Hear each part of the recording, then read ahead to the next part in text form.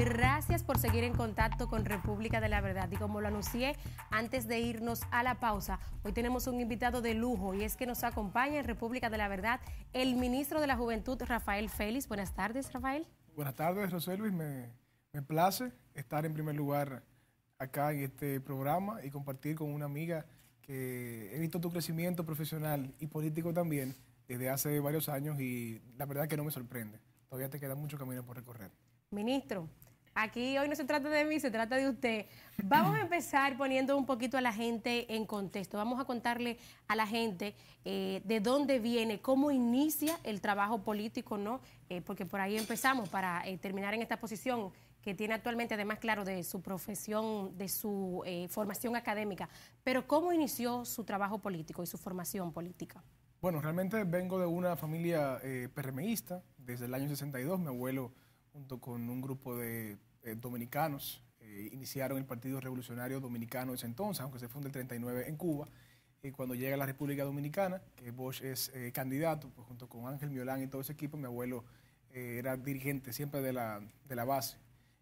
todavía a sus 86 años sigue siendo presidente de la zona más grande que tiene Santo Domingo Norte, la zona P1, y bueno, pues eso nos viene en la sangre.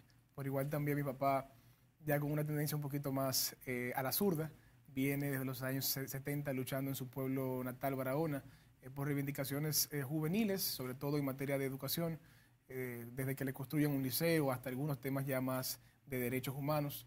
Y pues de una manera u otra ambos me impregnaron ese amor por, por la política, por el quehacer social también mi madre, que fue trabajadora social durante muchos años y, y psicóloga también, y eso se ha reflejado en mí. Y aquí estamos aportando al país pero desde muy joven también he hecho muchas actividades eh, sociales eh, desde el punto de vista de la juventud, la, niñez, los envejecientes, sobre todo con personas que se encuentran en eh, grupos sociales en condiciones de vulnerabilidad. ¿Dónde nace Rafael Félix? ¿Nació en Barahona? Porque me dice que tu papá es de Barahona o aquí en la capital. Bueno, mi papá es de Barahona, de Polo Barahona, mi madre es de Moca, pero yo nací aquí en Santo Domingo, en la circunscripción número uno.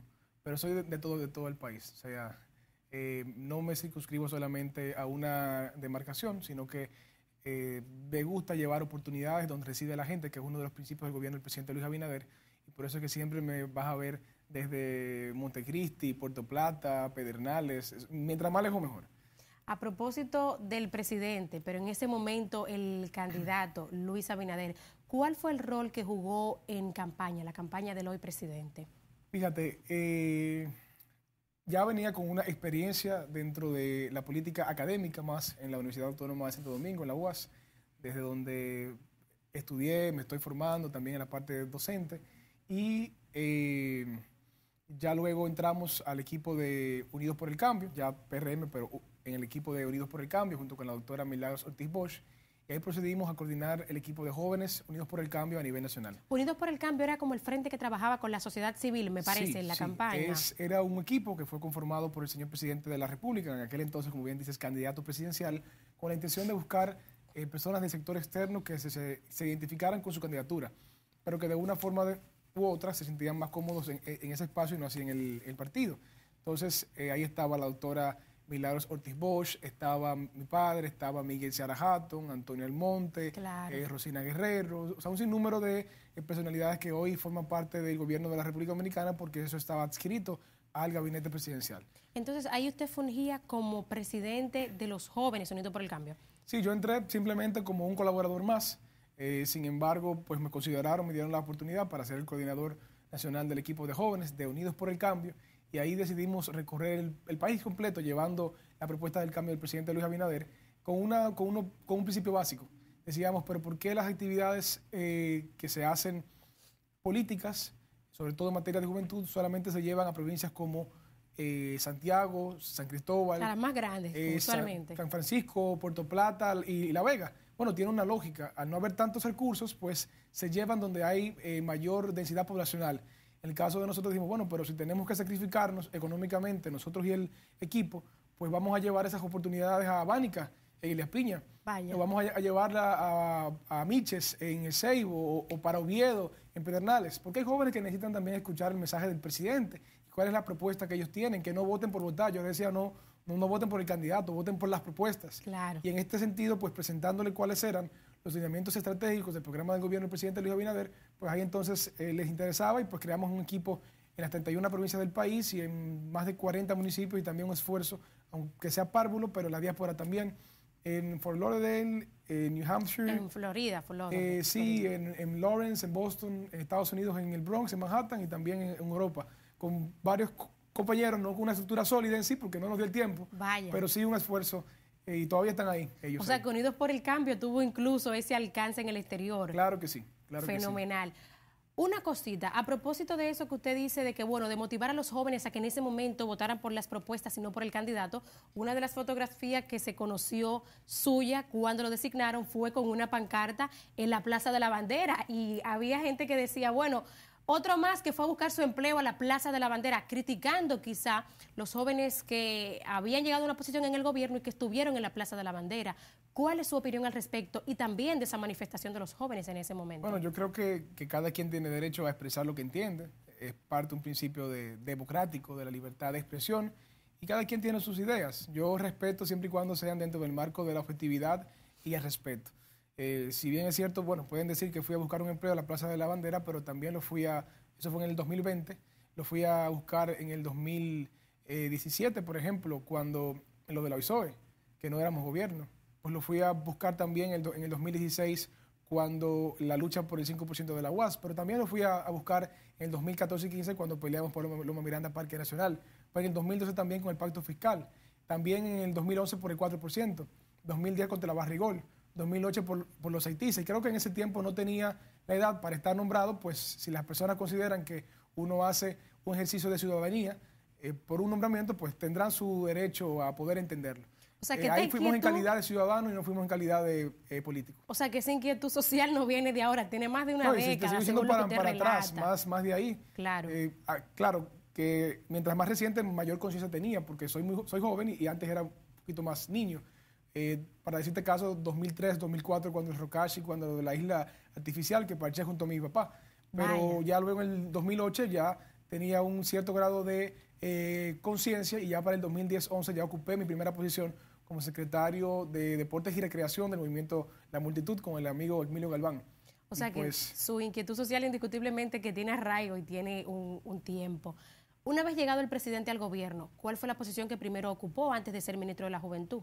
Bueno, en primer lugar, eh, estuve como vicerrector de extensión y vinculación con la comunidad y sectores productivos del Instituto Técnico Superior Comunitario. Su nombre bastante largo, aunque me fui, le voy a pedir al presidente que lo acorte esa, esa eh, Aquí tuvimos a Carlos Mendieta, que está como vicerrector ahí actualmente. Es un joven valioso, está ahí como vicerrector académico. Exacto. Estuvo primero como viceministro y ahí está ahora colaborando con el presidente en la posición de vicerrector académico, trabajando toda la parte docente de la academia. Evidentemente, la confianza del presidente en usted eh, está aprobada, porque designarlo como vicerrector iniciando el gobierno, ¿cómo se da esto de llegar al ministerio? ¿Pensó ser ministro de la Juventud?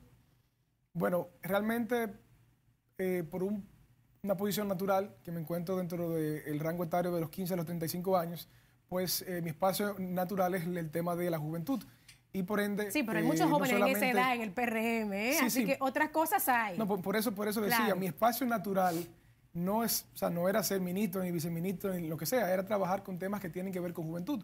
Porque si por algo se ha caracterizado el presidente de la, de la República, es que a quienes conocen la materia de comunicación como tú, los ha colocado en posiciones que tienen que ver con comunicación.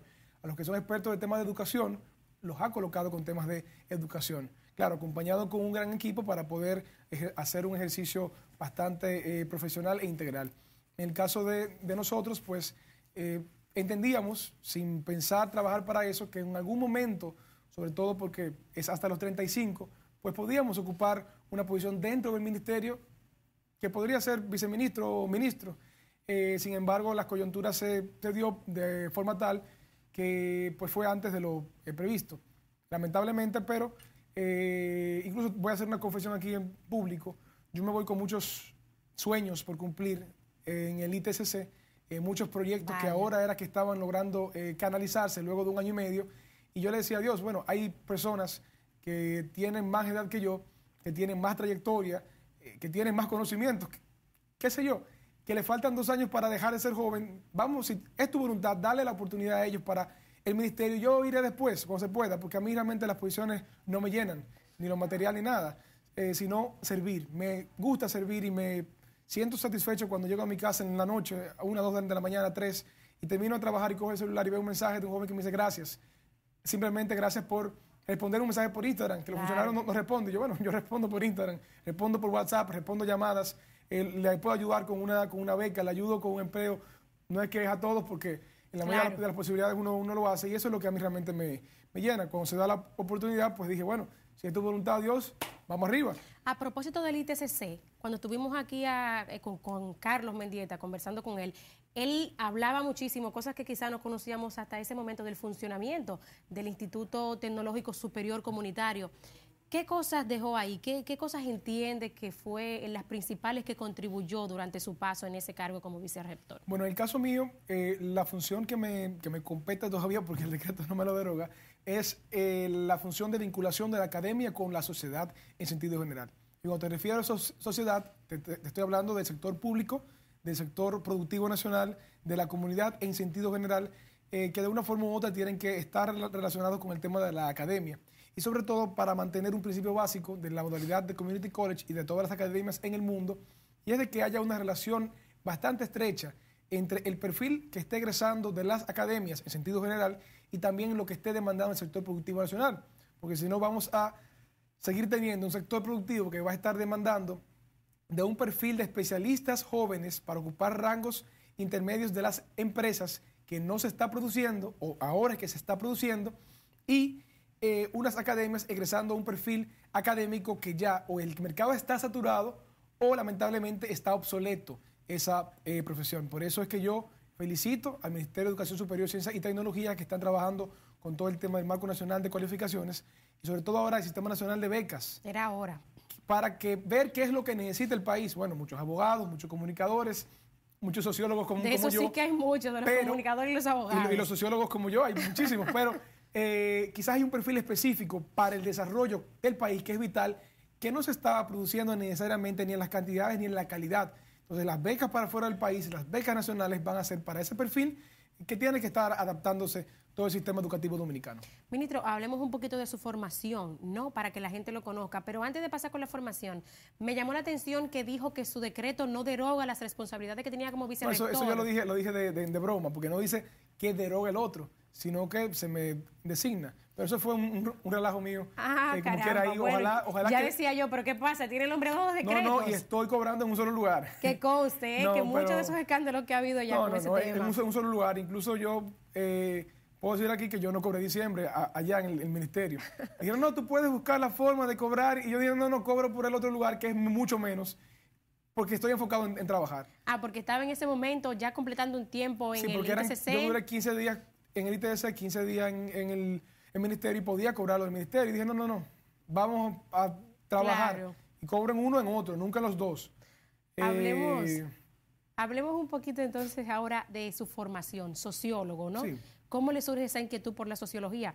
Yo creo que son como pocos los jóvenes que inicialmente, quizás de motus propio, optan por esa carrera. No es tan común como otras tantas, al menos aquí en el país. Bueno, eh, realmente las ciencias sociales y las humanidades en sentido general, salvo ciertas excepciones, pues no son muy estudiadas en la República Dominicana. Tú tienes el caso de la carrera de antropología, la carrera de historia, geografía humana, eh, ciencias políticas, eh, sociología en sí, bueno, economía un poquito más las personas lo estudian porque tiene un componente económico, que es lo que prima ahora en este sistema eh, del mercado. Pero en el caso mío siempre me han gustado las humanidades y las ciencias sociales, el estudio de la historia, el comportamiento humano, y pues la ciencia social cuyo campo holístico, cuyo, campo de estudio es más holístico, pues es la sociología. Por eso decidimos, a través del conocimiento del comportamiento humano, pues transformar la eh, sociedad para bien. Y ese es un sueño que uno siempre ha tenido desde que era niño y aunque suene una utopía, Galeano nos, decía, Eduardo Galeano, que si bien es cierto que la utopía es, inalcanzable, pues nos sirve para perseguir nuestros sueños. Si ella sale a dos pasos, pues uno va a dos, pero siempre ir tras nuestros sueños. Yo me tomé el atrevimiento de, en algunos grupos de WhatsApp en los que participo eh, con jóvenes, de preguntar. En uno de ellos que eh, comparto con algunos jóvenes del PRM de la provincia de San Cristóbal de decir qué pregunta quieren hacerle al, ministro. Y uno de estos jóvenes eh, del municipio de Jaina decía, bueno, pregúntale al ministro cuándo se va a abrir el ministerio eh, para que tenga alcance en el país completo y que todos los jóvenes de, de todo el país puedan participar. Entonces, es una pregunta muy amplia, pero yo se la dejo sobre la mesa. Quizá hay algo específico con lo que se pueda eh, quizá atender esta inquietud de, de este joven. Bueno, nosotros tenemos eh, como principio la apertura. O sea, ya tenemos las puertas abiertas. Yo, si, si fuera por mí, recibiera eh, a todo el mundo sin cita. Cuando las personas que me preguntan, les digo, mire, pase por allá, yo lo recibo, no importa que, que tenga cita.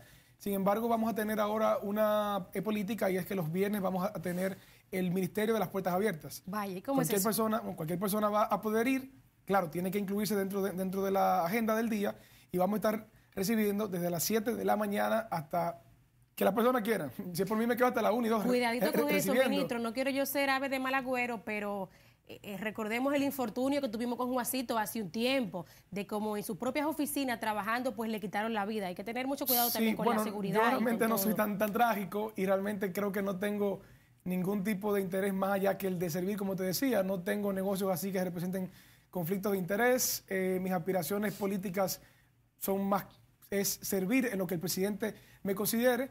Y pues creo que todas las personas, hay muchas personas que me quieren, otros que no que no me quieren, sino que no saben querer, eh, así como uno eh, tiene pensado y pues de una forma u otra a las personas les gusta que los, que los escuchen.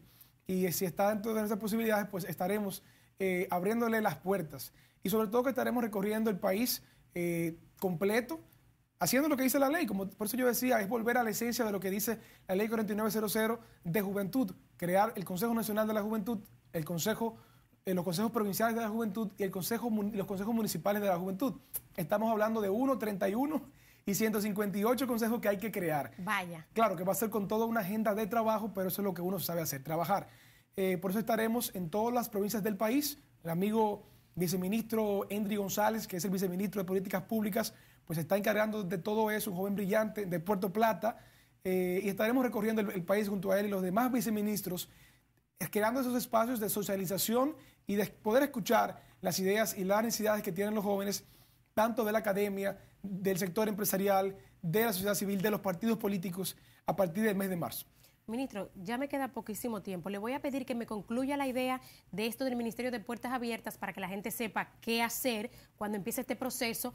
Y por último, las principales ejecutorias que piensa llevar a cabo durante este tiempo, además de crear estas unidades, o bueno, de poner en ejecución estas unidades que manda la ley en los territorios.